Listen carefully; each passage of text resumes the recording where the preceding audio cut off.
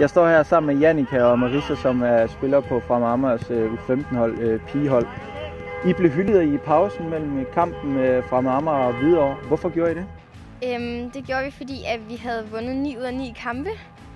Øhm, og så havde vi en målscore på 77-8, og så mente fra mamma, at øh, vi skulle hyldes af fra mammas fans. Var det en fed oplevelse? Ja, det var det. Meget. Nu står jeg så her og deler banehalvdel med Fremad Amagers første hold. Hvordan er det? Det er selvfølgelig rigtig fedt, at man kan kigge over på første holdet. Lurer I nogle tricks af? Ja, selvfølgelig gør vi det. Hvem er din yndlingsspiller på Fremad Amagers hold? Øhm, det er helt klart Spurs Hansen. Jeg har også hans trøje på. Hvorfor er han din yndlingsspiller? øhm, det er han, fordi at han spiller så fantastisk godt, og så er han bare så lækker.